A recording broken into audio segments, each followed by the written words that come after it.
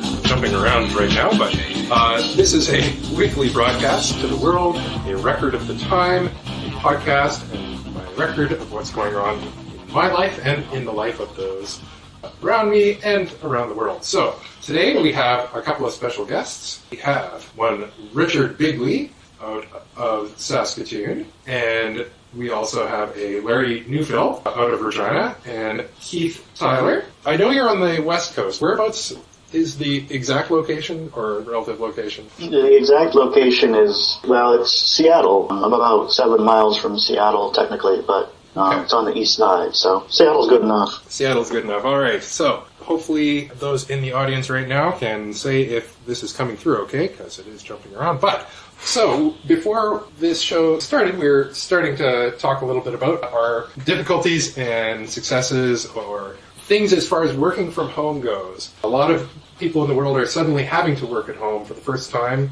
perhaps, or the first time that they've had to actually accomplish things at home. So, starting with Larry, how has your work situation been as far as have you been able to work at home, or is your job still kind of holding up, et cetera, et cetera? Uh, things are going okay for for the most part. Like I work for like an insurance company here, like here in Regina. It's it's a national insurance company, and there were some challenges, of course, uh, for setting it up, like the, the our work from home program. Uh, So it took them a little while to work out a few bugs with the the VPN system. They're still working on it a little bit, uh, but you know it's, it's sort of a, a quick learning curve trying to get that all, all in place. And for the most part, it's it's been going pretty pretty decently. And they did actually uh, they've been quite good to us, like uh, being very understanding, like with what they've been doing for the employees and they're trying to do everything they can to make accommodations in recognition of, of what's going on, like with the whole COVID-19 situation. So they're trying to keep us safe. And I really appreciate that. I think that's, that's great. And,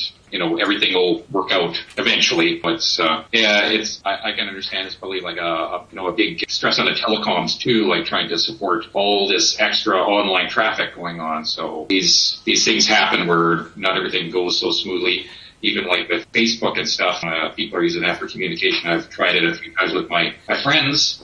And yeah, sometimes it's a little uh, choppy and the video is not so great, but And just for the record, while we're getting connected together for this sh- particular show, one of the four of us has been disconnecting pretty consistently, so we'll see if we can keep us all connected. But I suspect Not part of naming that, any names. not, yeah, not naming any names, but uh, I suspect part of that may very well be just that on Facebook's side, like there's a lot of people doing video conferencing right now. And video, especially high quality video, is really relatively bandwidth intensive. And so we're hitting bottlenecks all over the place in weird places. And especially relevant to this because from my experience in working from, even not from home, but like just working generally inside of these complex uh, software systems and hardware systems that run in the background and everyone just sort of takes for granted that they work all the time. There's a never ending supply of crises and things going horribly, horribly wrong on a good day. Like, there's very often things that go wrong and then that people have to get called out to fix it and people run around like crazy and then things eventually get fixed and everything is fine as far as the people using the systems are concerned. But now, Keith, as far as your experience, how you were kind of mentioning a little bit of it before we started, but on your side, things are going fairly well, I understand. Yeah, I mean, again, this being a very tech-heavy city, there's a lot of investment in that sort of telecom internet feed. I actually live in a building that has a fiber connection that's somewhat common in some of the larger buildings in this area. So in terms of my signal, it's pretty good. My company's VPN has been pretty good and stable. Yeah, I mean, in terms of, I can't say that I've heard of many, but you mentioned that even when it's a good day, we hear about major outages. I can't say that I've heard of any major outages coming out of any of the major websites or anything. I don't know if it's just I haven't noticed or, or it's not been happening. Uh, probably there's a trade-off too with people not in office buildings and now at their homes. It maybe it spreads out the, the pressure a little bit, even though to have increased usage. Um, it's curious because you're right. I mean, I don't think I've heard of any major outages, and you would expect that. I mean, most of the conflict, most of the conspiracy, excuse me, the controversy I've heard is things like that I found out that Zoom meetings print out all of the private DMs that happen during a, a, video chat at the end. And not only that, but there's absolutely no security and you can simply type in a random number and find someone's Zoom meeting, which I thought was pretty funny. There was apparently a culture of people going around and Zoom crashing, just entering in random numbers into the Zoom client to see if they could find an interesting meeting and then just take it over, thought was kind of funny. And this has, as far as I can tell, hit locally here. My employer does use Zoom, unfortunately, and they have had randoms show up. And they had to implement a policy of like having multiple rooms where you, you join the, the first room and then you have to like somehow identify yourself as one of the students.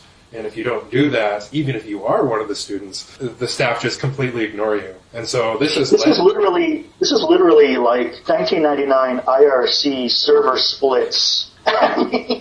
Isn't that what they used to do? They'd make a new channel and everyone would have to join the new channel and oh my god. Yeah, exactly. Full circle, doesn't it? Like we've already solved this problem, people. How are we still having this problem? All right. And so, but you're saying though that you haven't seen too many crises as far as outages and that is concerned. Another way that that may be happening is that there's also, while there's more pressure being put on the pressure points as far as video conferencing and bandwidth are concerned. There's also not as many people with their hands playing with equipment, basically. And there's fewer changes. I know Google for a while stopped releasing new versions of its web browser. That's just kind of one example of a big project where they just stop releasing software updates unless it's a really big, important change because everyone knows that it's kind of like you don't push changes to production on Friday. Well, every day is a Friday at this point. Yeah. So Yeah. unless it's important, people know that the, the resources are just not available. But now back to you, Richard. What has your experience been as far as working from home? Well, as we were discussing earlier, uh, I think my big challenge seems to be communication with lots of web meetings, lots of phone calls over Teams, and a lot of calls over Zoom and that sort of thing. It's been quite a hassle for me because I've got like some decent recording equipment and I've been trying to uh, route my calls through there as opposed to my like $20 wireless headset, which seems to be the only thing that's working with my phone now. so it's been probably why I sound like absolute garbage.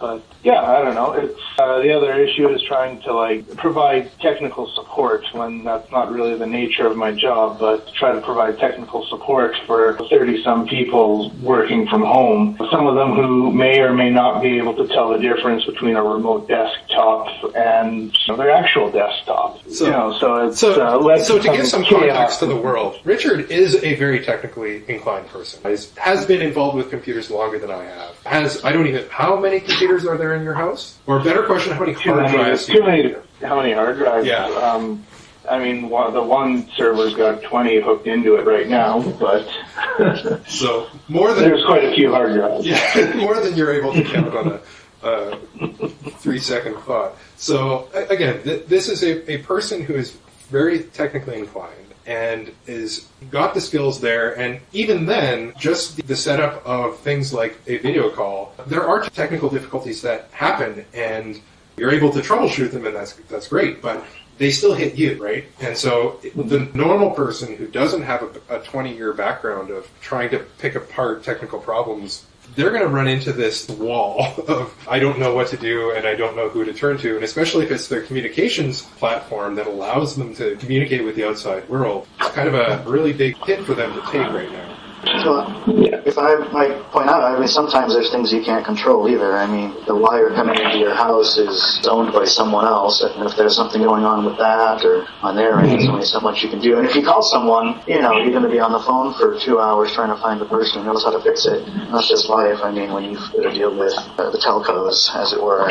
Th- You can't control that, and especially sometimes when you've got like you know, I know if you go through cable for your internet, you've got to have a box that they technically own that they put in your house that you can't really do anything with. So, So I have heard Yeah, though. you could be you could be brilliant and you still can't control what Rogers or whoever does. yeah. Well, it's also interesting the, the variety of hardware that you may be dealing with. Like, for example, I've got a, a laptop that has a Bluetooth connection and, you know, using a, a wireless Bluetooth headset. But, like, coworkers elsewhere, you know, some of them are using corporate supplied computers. Some people might be using a Mac. Someone may out there be trying to run this off of a, Linux machine. Uh, some desktops, different laptops, different configurations, and it's uh, different sorts of hardware that you've got to kind of contend with, and I just sort of hope everything comes together in the end. So as far as the the frustrations are kind of building, at least here in Saskatchewan, and I've heard in the states as well. And Keith, you can correct me on that. As far as because everyone has been trying to get these the work that they'd normally be doing at home done, these Zoom meetings that are not as efficient as, for example, just text-based communication for a lot of things.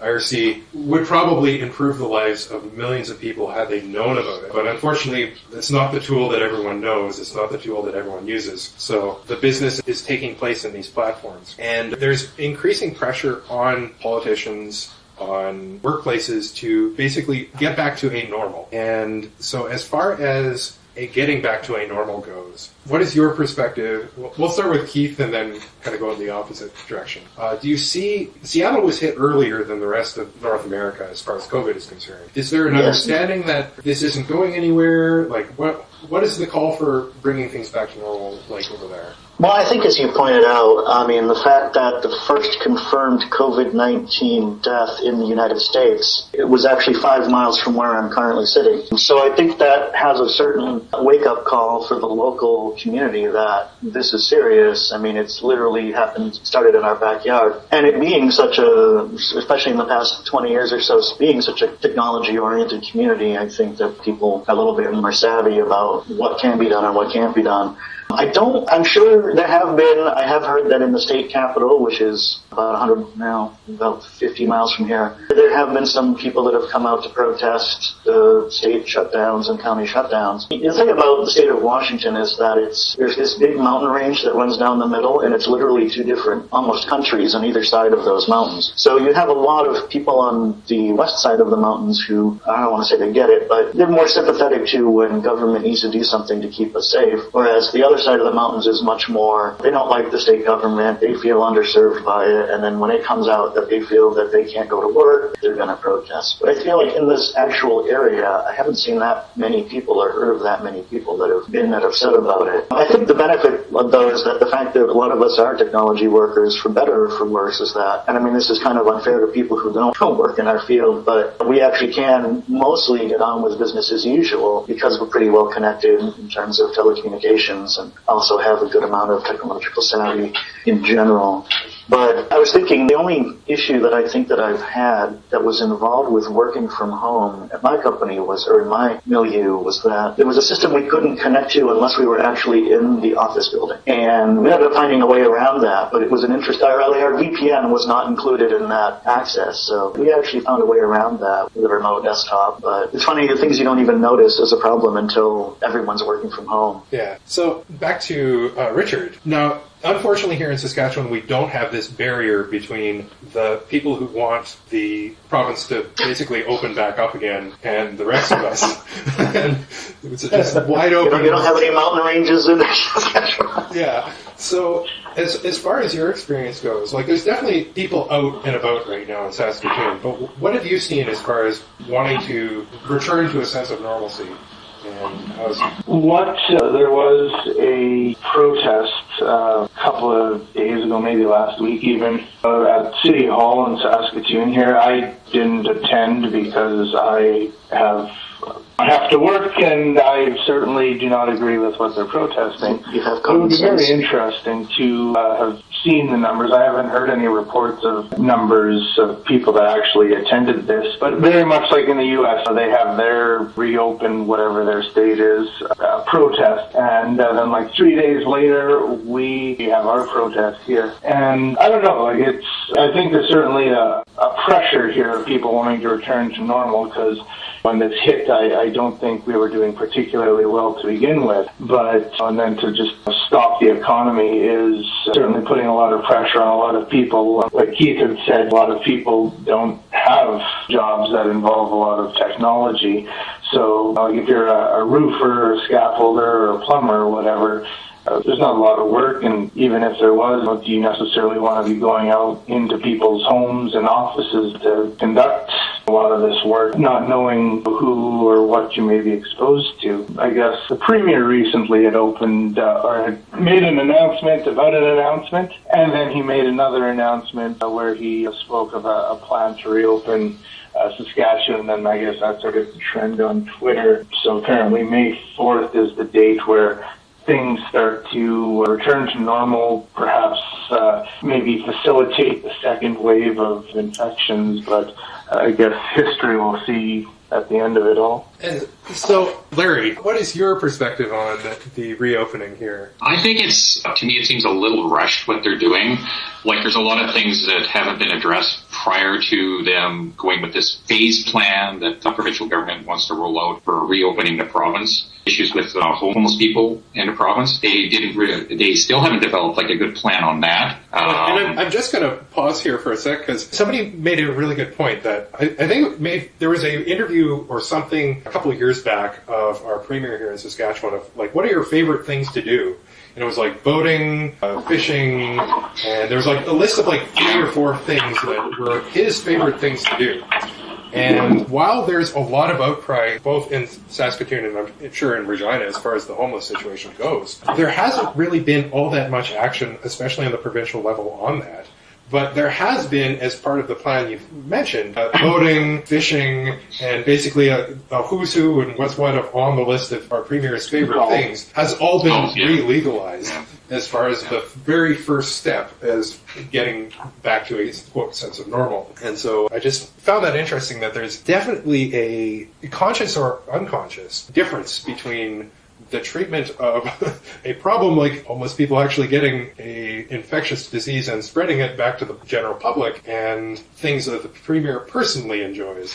But uh, anyway, continuing on. Yeah, like you said, it's like uh, golfing was one of the things that are going to be like one of the top things that's currently going to restart. And then in phase two, you're going to see like hairstylists and stuff. Um, going to be opening some things up there. Another thing is like in indigenous communities, they are already have like very poor levels of infrastructure, and there hasn't been like a, a good addressing of that from the federal and the provincial levels of government on assisting on that. Uh, the new cases, like our cases aren't going down to zero. We did have some new cases actually open up, but a number of them actually in northern Saskatchewan. And so that's, that, and once again, that's one of the places in the province that is poorly served by infrastructure and not as well-to-do communities up there as well. Yet we are going full steam ahead like with this, which is which is concerning to see something like that where it should be like, okay, maybe you want to start out maybe with phase one and maybe see where it goes with that. Or a better approach would be maybe like social distancing in different communities. Okay, we're going to try lessening the restrictions maybe in one area while we lock it down in another and see how things do there. Maybe like a, a rolling social distancing or something like that. Rather than we're opening for business, entire province, let's do this Yeah. rather than you know, taking a more measured approach at it. I understand, yes. You know, I'm one of the fortunate ones. I can work from home. I'm still employed, but there are a lot of people that can't do what I do, and I understand that they are going through like financial difficulties. And but the priority should be public health. That's the priority we should be looking at because that is a long-term economic effect.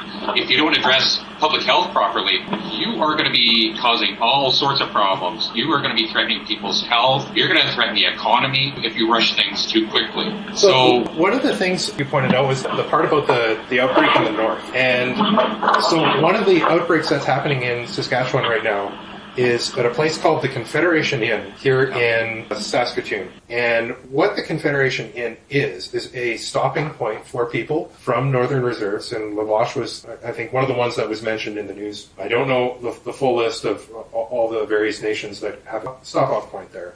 But there is travel and when people come into the city, that is where they stay. And it is at this inn that also has beds set up on a normal day for medical situations that arise. So that their elders or whoever is sick and needing medical attention, they can actually get medical attention right within the inn itself normally. And so this is the context of the outbreak there. That these old, already sick people, they're the ones who are, have been exposed to COVID-19 this week. And, and here's the important part, they're counted as being cases in northern Saskatchewan. Even though they are physically in Saskatoon, because of that's where they came from, and because of, for whatever reason, the rules of counting where the infections are, they are currently counting it as a northern case, which kind of makes me wonder how many cases are there actually in the north? Because if all of the supposed cases are in places like PA, Saskatoon, maybe North Battleford or something like that. That means a different kind of policy response is called for, right? Where I can't remember if it was Manitoba or Saskatchewan, but they one of the two provinces started closing off travel to the north of their province and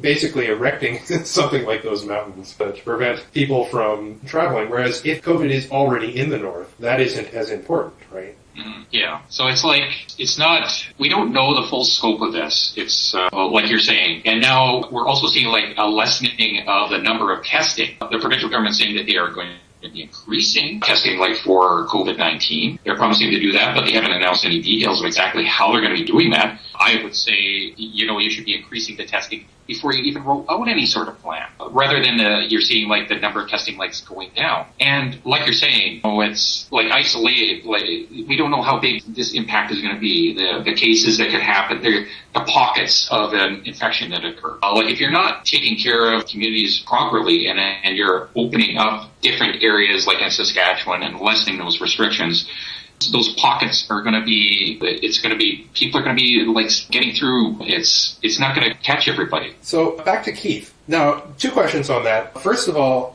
how is the testing going in, in Seattle, or, or do, have you heard much on that side? I've, I've heard there are places, I don't know if Seattle's one of them, where they've ordered and been shipped some fake or non-working tests, and there's problems sourcing legitimate tests. And then the other question on top of that is, have you heard anything as far as the local American Indians and their experience with it, or is that kind of like not the kind of news that reaches uh, people out there?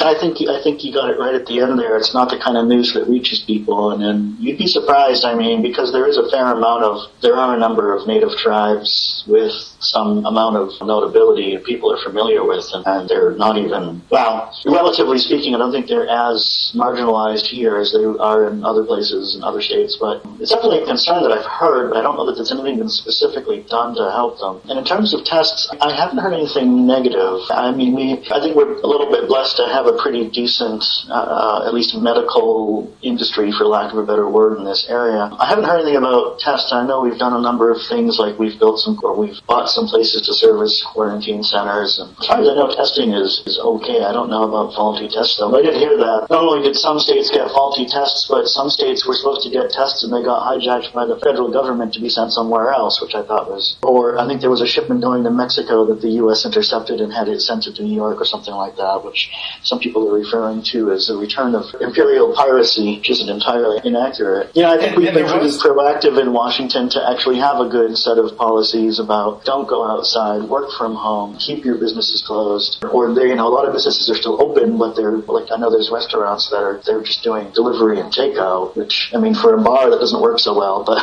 for a restaurant it works okay. But I know that still the restaurants are struggling because they made it just temporarily legal to actually deliver alcoholic mixed drinks, which I thought was quite interesting. It's kind of like the depression was a major factor in overturning prohibition in the United States, so it kind of reminds me of that. Like, oh, we're all struggling, so let's make alcohol easier to get. Not that I'm complaining, but it is a thing. For sure, and I think I've heard similar things here. At least in Ontario, I think they started loosening the regulations of delivery of alcohol. So I think that's going on here as well. I'm not 100 percent sure on that. But you mentioned the quarantine centers. So is there quarantine centers set up there, and is it like a? I've seen some where it's like just sort of tents outside of the, the hospital, but Is it a little bit Oh, more organized there, or has it been needed, or It's probably up to the county level, and that's kind of a whole other enchilada. But I know that in this county, there was a motel that the county bought. It It was a vacant motel that was being up for sale, and the county actually bought it, and we're housing confirmed cases of COVID-19 there. I don't know. I'm sure there's been a few others. There have been some. I think there may be.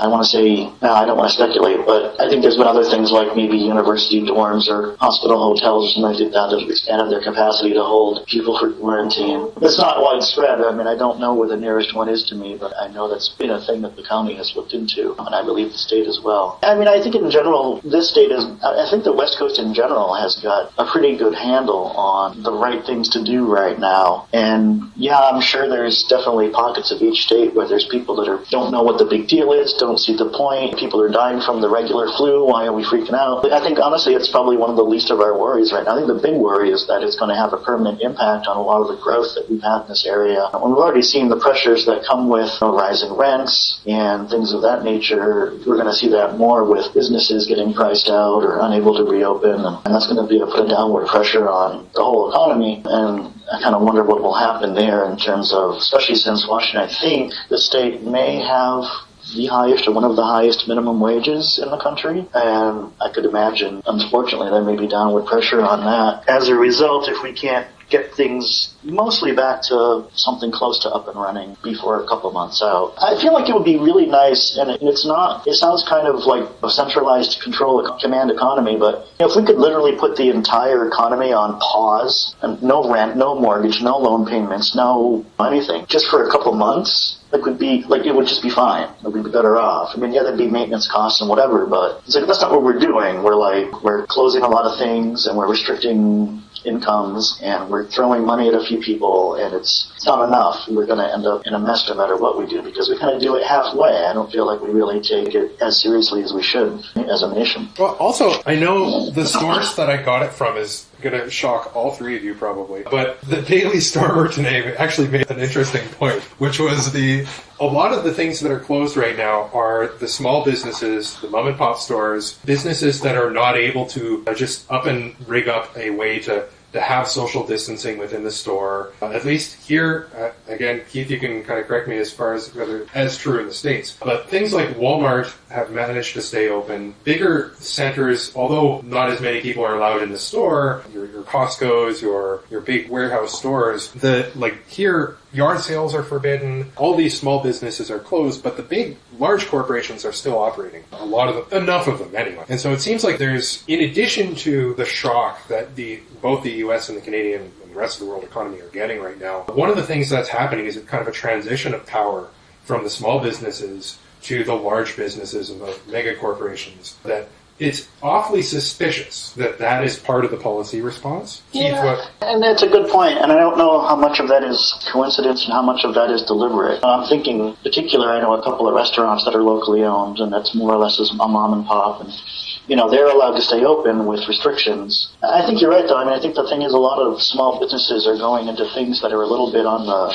unnecessary side. You know, I'm thinking little boutique shops, antique shops, that kind of thing. Nobody really needs an 1897 Edison phonograph right now, or whatever. But a lot of places that are open, in particular, marijuana stores in Washington have been deemed essential and are allowed to remain open. And all of them are small businesses because there's no real way for a large corporation to even get involved in that, funnily enough. so it's, it's them- interesting. I think time. you're right. They'll get there, I'm sure.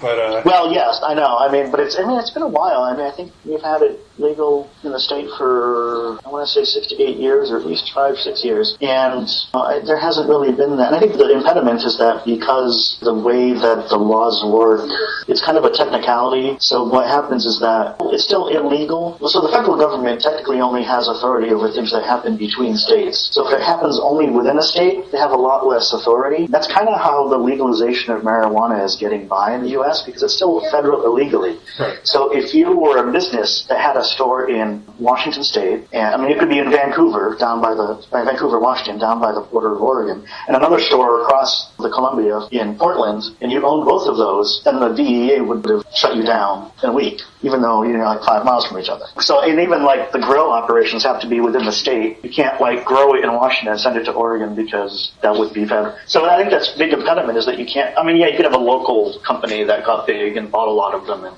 I think there's a few of those that they're franchising. They're still fairly small businesses. But I think it's a more matter of the, you're right, the businesses that tend to be small businesses are things that are generally not necessities. It's, you know, things like boutique shops and consignment stores and things like that. It's a good point. So back to Richard. Now, as far as both the impact on small business and kind of what you see on that, as well as the possible way of approaching this in terms of a, a centralized response, what what is your kind of take on that?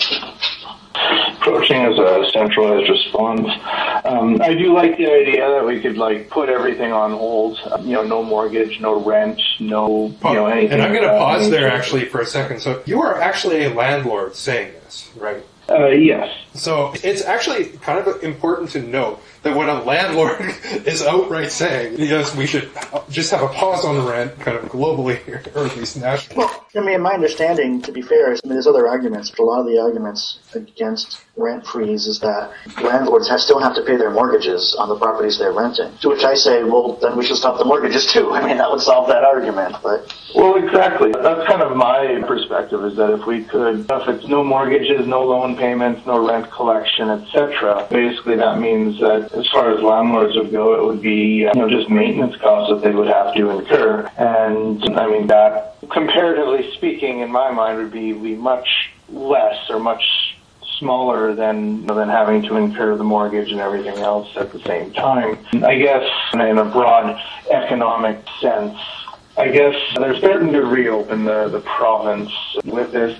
I do think that uh, the provincial response is perhaps a little bit early. Didn't really put a whole lot of thought into it. a lot of, for example, they are going to allow dental clinics to uh, resume service to their clientele. Uh, I guess the uh, shortcoming on that is, say you're a dental hygienist and you can go back to work on May 4th when everything opens up. But there was no thought given to child care. So, you know, you can have parents who may be going into work because they're working in a medical profession or some other facility that's now open uh, effective May 4th, but the child care doesn't open till a much later phase, so now they have nowhere to put their kids while they have to go to work or while they go back to work. I think that there should be some, a little bit more thought in put in towards this, uh, this reopening plan. that's interesting, actually, because I didn't know that childcare was shut down in a lot of places. I know, and my fiance is actually works in a preschool, and she's still been working. She's been on reduced hours for the past couple of weeks, but here that was something they considered essential. Now, of course, it turns out that a lot of parents pull their kids from daycare anyway, so kind of reduced the demand a bit. But that's interesting. It does seem like that would be something you would think you would need if people are going to go back to work. They need somewhere to put their kids, especially with schools. I know in Washington with school years. They said, forget it, they're not going to go back to school this year. And a lot of places, schools are still closed, so it's a more bigger issue for older kids. Well, talking about like dental care, like dentists opening up, from what I understand, there are challenges associated with that that they don't know if they're if all the dentists are going to be able to open like on May the fourth, which is the target date for that to happen. Due to the lack of PPE, like personal protective equipment, there's Yeah. not enough that to go around, and this is something that dentists are concerned about that they won't be able to access that in order to open up their offices. And then they're asking for this to uh, also for other businesses like the retail uh, stores that are going to be opening up in phase two. They're asking them to use PPE as well. We already have a shortage of that, like with our medical workers. The dental offices are going to have problems with this, and then the retail outlets are going to have are going to have problems as well. So that's another big gaping problem that I see is you really need to fix that before you, you start ruling anything out. Well, and for example, it's like they're opening up retail business such as hairdressers and that sort of thing, barber shops. And they're like, well, you can reopen provided you maintain proper social distancing.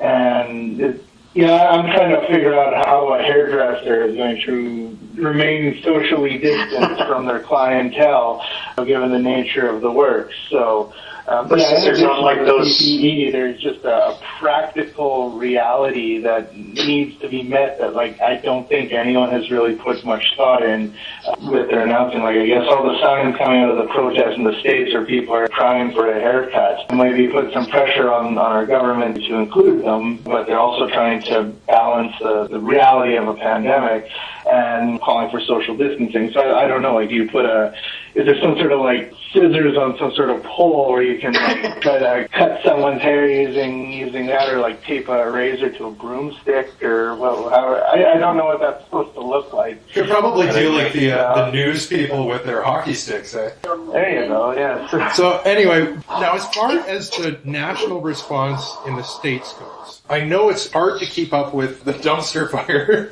a little bit Yeah. uh, on a good day, but A lot of but distraction there too. as far as I'll start with Richard actually, your perspective and like notable things you've seen from the federal side in the U.S. Because I mean, anything they do there is going to impact us anyway. But what has been your view of what's been going on? Well, I mean, I think that it's just in terms of numbers, you've got a, a country that is 4.25% of the global population, and they have almost 33% of the cases worldwide for infection. I mean, I think that there was certainly part of it, I think, is sort of a mentality thing. Like, I think a lot of people, as, as you can see through these protests, seem to think that their individual personal liberty trumps the collective good of society. And, I mean, I guess that may have been a contributing factor to these high numbers. Uh, perhaps private health care could be another issue with that. My understanding is that I think about 70% of the people who were supposed to be receiving checks for unemployment benefits haven't actually received uh, their checks. And uh, my understanding as well is that check processing had been delayed because I guess um, I guess the people were getting twelve hundred bucks or something like that. Trump wanted Yeah. to put his name in the memo line, uh, which basically meant they had to rewrite the entire check pr- processing software uh, to incorporate that.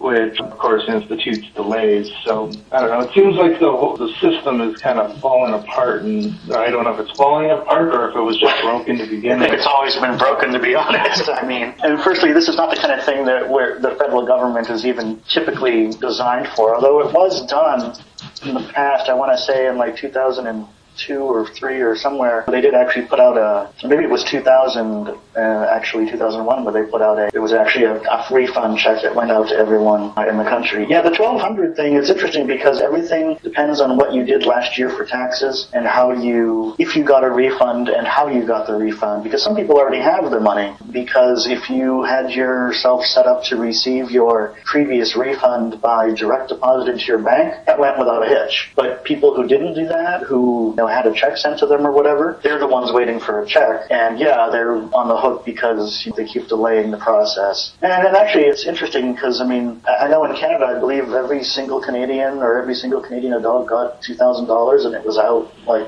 No. you know in a week? Okay uh, I guess I heard wrong No. in the U.S., it's not 1,200 for everyone. It's actually 1,200 if you made under a certain amount, and then it reduces through your last year's income to another amount, and then if you make over that, you don't get anything. So there's a lot of people, especially in this area, who didn't actually get a check because of the nature of the standard of living here. We already get paid more than that amount, so it's kind of I'm like that's great that people are getting money. I mean, I'm not, but you know, I guess I don't need it as much, but still, gee, if, let's not pretend like we're giving it to everyone. So, Um, in, in the meanwhile, we do have another challenger has entered the room. I saw that. uh, so, Adam uh, has been a guest on the show before. So, uh, Larry, Keith, and Richard.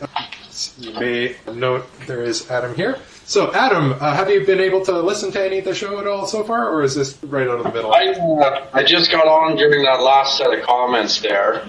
I know Larry. I'm not sure if we know uh, Keith has been online before. Oh, But yeah, the Canada CERB program that they started, what they did was they made the program temporary, you know, replace the EI process. And what their kind of uh, thought on it was, is that we don't have the manpower resources to really sort out who's qualified or not qualified. So we're going to call it taxable income. It's going to be automatically uh, approved. And if, if you're getting it, like if you're still working and you shouldn't have got it, they'll come back after you and get it back. So there's a website under the Canadian government. I put it on my Facebook wall there the other day. It's got like an EI dash reports at the end of it. So far they got 6.82 million unique applications out of like 9 point some million total. And they've paid out $21.2 billion already. So it is kind of crazy. Uh, it might part not of sound like uh, big numbers for an American who sees trillions of dollars getting wasted left, right, and center all the time. But in this case, there is a certain number of months that Canada can go before this country's going to totally default and have a revolution. Because that's a pretty big number for everybody. So, Keith, do you have any response on that? Yeah, I honestly wouldn't mind if the government wasted a bit more money on like the people rather than blowing things up or giving handouts to people that really, really, I mean, and I say this when I'm again about four miles away from the two richest people on the planet, that, you know, it'd be nice if we could waste a little bit more money on the actual American people, the everyday person than the super rich and the large corporations and also on blowing people up. Yeah, but I mean, I think that people are already looking at the money that we've already spent. And the funny thing is, you mentioned that, yeah, we had this $2 trillion benefit and included this like something like 500 billion for small businesses. And it turns out that like only a couple percent of small businesses could even get the money before it ran out. And a lot of them weren't even small businesses. So it's like, and it's funny because there was actually in the law that proved that stimulus, there was supposed to be someone who was making sure the money was going to the right places. And within two days, that person was fired. So that says a lot about where the priorities are, I think. For sure. So, for Adam, the last question for the night is as far as what you've seen in the U.S. federal side, there's a lot of things going on in the federal side and their reaction to COVID and the economic crisis and the et cetera, et cetera, et cetera. But as far as notable things that you've seen this week, is there anything that sticks out for you? Well, this week I'm just trying to watch. It sort of seems like the tone has changed to reopening. I saw another 450 uh, four billion dollar subsidy stimulus thing that was signed off. Looks like yesterday. There's more money being tossed around. Some places are coming back, and there's sort of this desperate need to get the economy rolling again before it collapses and everybody starves to death. Because you got that's kind of the uh, Jekyll and Hyde situation that you got going on here. You've got a pandemic that's going crazy, and you've got a an economic system that could fail and falter uh, pretty quick and easy if this goes on long enough. And uh, if that happens, it'll be civil unrest, revolution style. So it's kind of getting into an ugly spot now. I mean, a month or two we could probably handle being shut down for, have a great big national holiday together. But beyond that, you got people that are running out of money, running out of the ability to feed themselves. And, uh, You're cutting up there a little bit. But as far as Keith, and again, you're kind of closer to the uh, what's going on on this one. Do you have any response on that? I guess there's a point there where there's two options, right? We either restore the economic system that we have to a state where it can, I guess, kind of work, mostly work, or do we change the system to one that isn't dependent on people risking their lives to make sure everyone, you know what I mean? Like, I guess that that's the real option. We can either return things and open things back up so that everyone can go back to making money, or maybe we can look a little bit differently at what's really important. And I guess it's, it's just a valid question either way. It's either we return things to the way they were and risk potentially more damage, or we change the way we do things. And I think a lot of people are talking about that. I think there have been people on TV lately that have said, you know, is this, do we want to go back to the way things were, knowing what we're going through now and knowing the struggle that we face, or is it possible that we can change it just a little bit to make it a bit more, make our society more resilient? That'd be my thought on that. Because I understand the pressure people aren't getting paid, and like, I even have taken a salary cut. My fiance had hours reductions, so it's, it's, it's happening to a lot of people, and then of course rent's not going down, so what are we going to do? So it's a real fear, and I think that you have to find, there's multiple ways to resolve that fear and that problem, and, and I think we have an opportunity to make a choice, and that's all. And it looks like Adam was uh, jumping at the bit to say something there.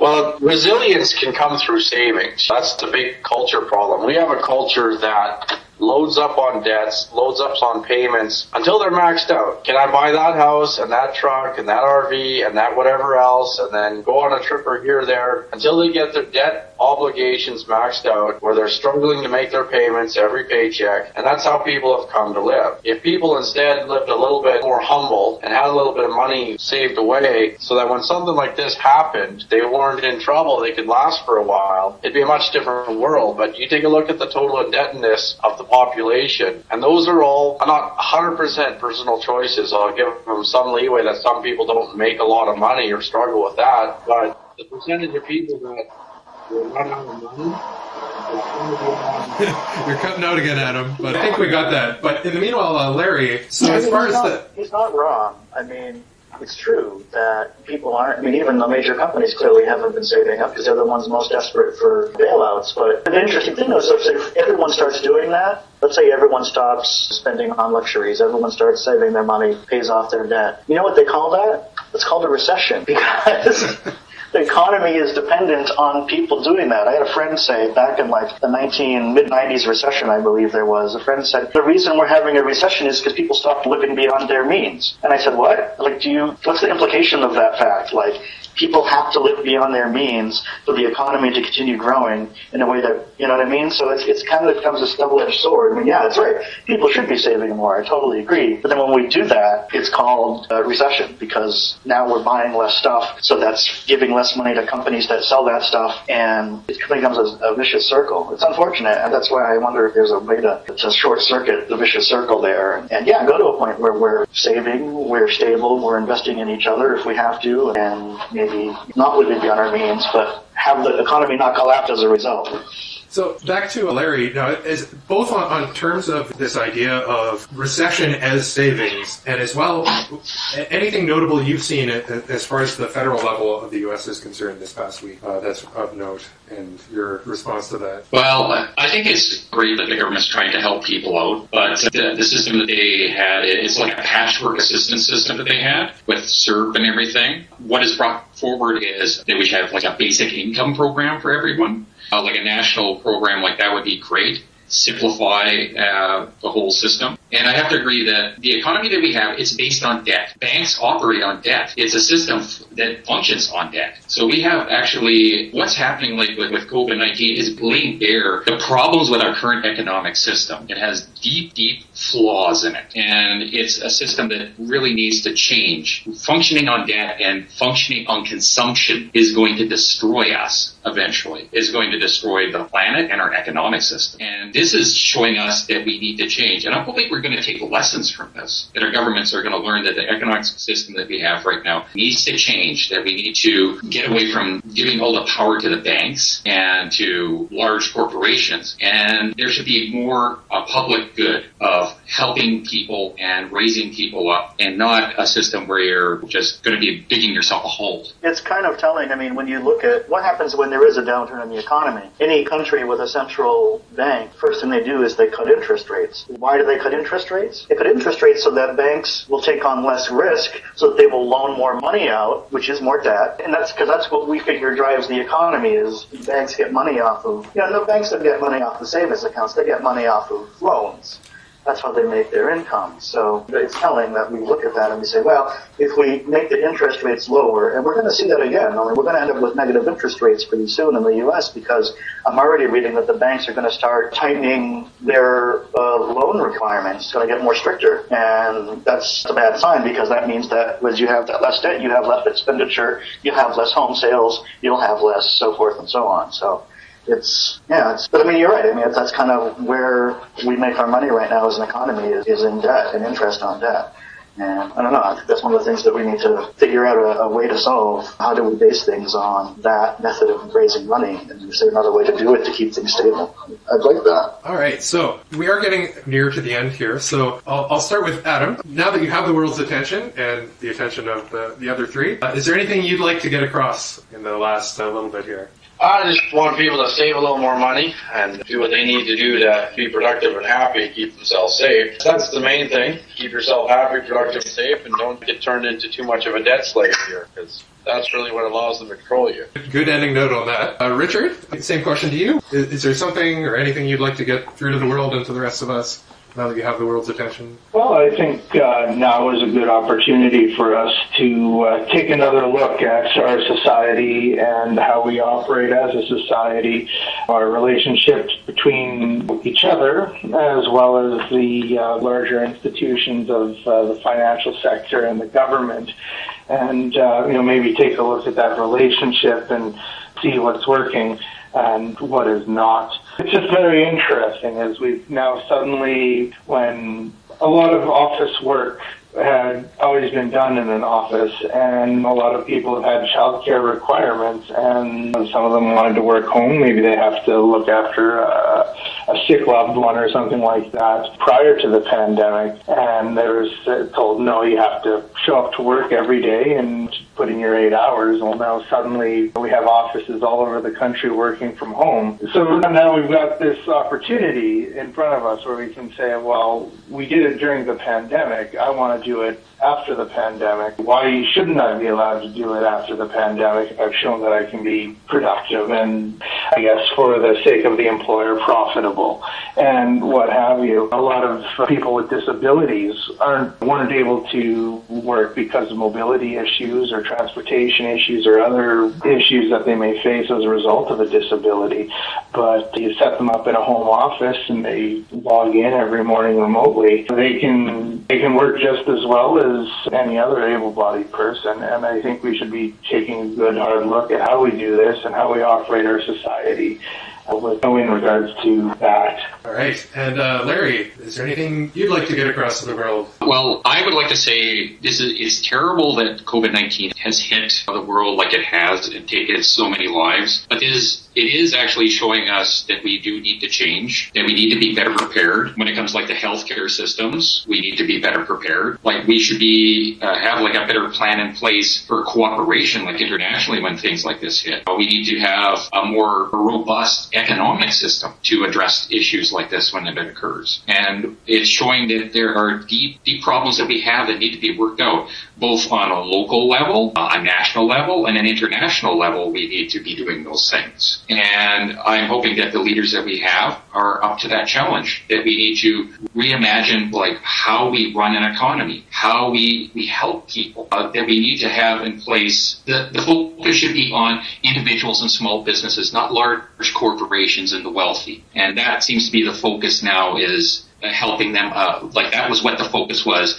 That's changed a little bit more, and we're focusing more on helping individuals when this hit with the pandemic. And I'm hoping that that will translate forward into something that we will see continuing, that we won't flip the switch and go, okay, now we're going to be focusing more on the large corporations and the wealthy and helping them out. We don't care so much about what's happening with individuals and keeping them afloat and making sure that they keep their homes and they keep and are able to provide for their families. And well, these are things that I hope we're going to take from this. And don't rush things. Listen to the experts. Listen to the health professionals. Don't let decisions be motivated by purely by politics. That is a frightening thing. Those are the things. My last thoughts, anyways, is the things that we should be focusing on and being concerned about. Excellent. Thanks for that. And Keith, uh, I guess in addition to the, that question as well, just as a side note, do you find that at the national level, local to you, do you see that kind of leadership and example being acted on? And then, other than that, um, do you have any last thoughts on that you'd like to get across to the world? you So to your- your point about local and national leadership, I would say local yes and national no. And there's been an increasing talk lately, actually, of I mean the, the three western states recently agreed on a tri-state pact to work together on the COVID-19 response, and there's a similar one in the Northeast.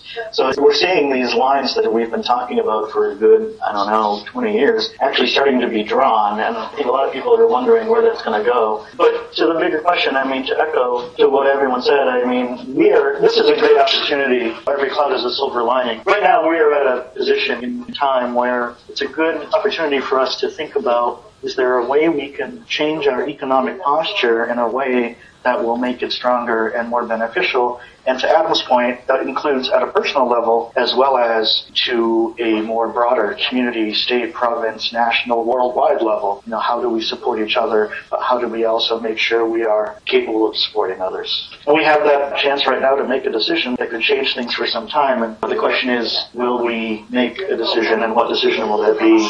And will we stick to it? We have that. That's up to us. That's up to all of us to decide. Awesome. So thank you all four of you for uh, joining in this week. And just a reminder to the those of you who are listening, this is a donation supported podcast.